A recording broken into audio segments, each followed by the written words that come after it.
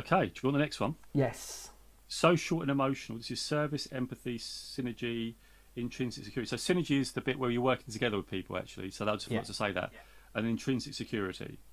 And we, well, we do that. We do that with the podcast. There's a trio of us. It's a, a thing I'm very conscious of within work or other things I do as well. So I think I, I think I've learnt to tick that box as I've got older. Intrinsic security. So that's the that's the inward stuff, isn't it? So and so and is that purely in that kind of social interactions with other people? Is that how you register that? Yeah, I would say service, isn't it? Yeah. So service, empathy.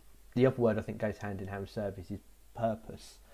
And I do. We talk through lots of different things. I currently have my. It's on my on my desktop here. I call it my eight a.m. list that I work through and do bits and bobs, and I've got things on. But they're all about achieving something. And I feel like through work and home life and things I do with my friends and the my extra little bits and bobs hobbies, I feel like I'm I'm in a good place for that kind of purpose and service thing at the moment. I do want to make a bit of time maybe to do some sort of volunteering thing. There's a lot of virtual things you can do with that as well as physical now. So that's on my radar and I think that's something I'll dig into in the second half of this year. So I've got a reasonable filled up bar on that one I'd say, but some some ideas I want to do to help just kind of develop that a bit further and I do think it's in that kind of whatever it looks like that kind of volunteering space. Yeah, and I think that's that thing that, like you say, ties into the purpose, doesn't it? I think that's the key with it.